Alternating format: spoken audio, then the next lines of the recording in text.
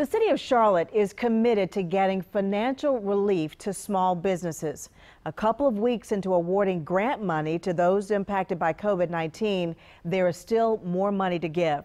Now, I spoke with Mayor Pro Tem Julie Eiselt tonight about the progress so far and now how they're trying to get the word out to more businesses that need help in the last two weeks, um, the Foundation for the Carolinas and our economic development staff have really worked hard to get the first $2 million out in grants, which is about 195 different grants, um, individual grants. We have um, just started the process of really going out into the different districts to be able to reach more businesses because that's a big part of it. A lot of businesses didn't get help from the federal government because they didn't know how to apply for grants, they didn't know what was available. And so that first um, rollout is always going to be a little bit slower, but we still have 28 million that can be deployed through two more cycles. So we're excited about that. I understand that business owners have about two weeks left to apply, and you're putting in place some new tools for them to get help in person and maybe call in as well to get some guidance. Talk to us about that.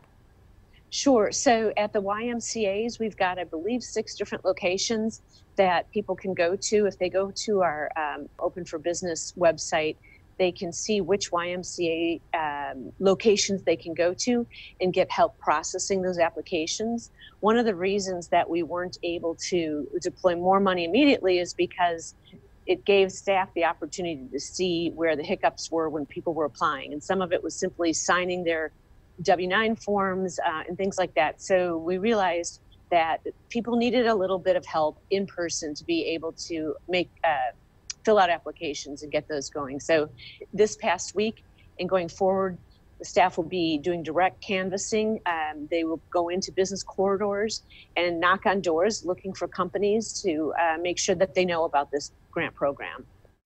Businesses can get up to $25,000. Eiselt told me that business owners have until July 31st to apply, but if there's more money left over, they will keep processing the applications until all the money's gone. So far, she says 93% of the businesses that have been helped have been micro businesses with five or fewer employees. 60% of those businesses are minority owned.